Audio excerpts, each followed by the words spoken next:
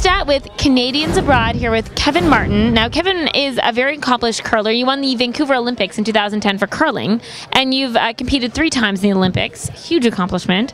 Um, also, you were uh, a part of Men with Brooms, which is a Canadian TV show and movie. It was a movie, then they made a TV show based on it. You're in the TV show, and you worked on the movie.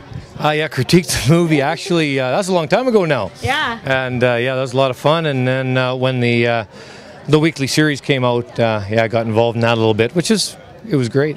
Really exciting. It's a huge sport. I mean, for Canada.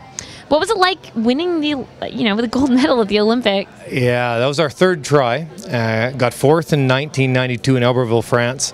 Uh, silver medal in Salt Lake City in 02, and then finally uh, traded in the silver for gold in uh, 2010. So that was a big relief. I think a relief more than excited or anything else. Yeah, that's a lot of work, a lot of a lot of years. Yeah, a lot of dedication too. Uh, you bet. Yeah. It's just so exciting, and uh, to say that you've won an Olympic gold medal is kind of I don't know. It's one of those. That- pinch. Yeah. yeah. So, um, was that moment just surreal? It was surreal. Um, it'll be not. You know, I don't even when uh, when actually the opposition stone left the house. I actually don't remember that part.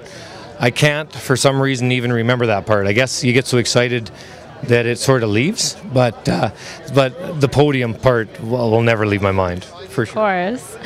Now, you are participating in this tournament uh, tomorrow and then uh, Thursday as well? Uh, yes, no, uh, I'm here uh, for the tournament tomorrow, um, and uh, unfortunately, I've uh, got a Grand Slam event in curling in Ontario on Thursday morning, so I've got to get back uh, Wednesday evening for that. So no, we're here uh, to enjoy the pro am tomorrow and uh, see all the uh, see all the guys was here last year as well. Do you find that your uh, curling skills have helped with anything with golf? Like, do you find any uh, similarities? Definitely. Um, a lot of the golf, uh, a lot of the curlers are golf pros in Canada. I am not a golf pro, but a lot of the curlers in Canada are golf pros, and the sports are very similar. Snooker, as like pool, snooker, curling, golf, uh, they're very similar games.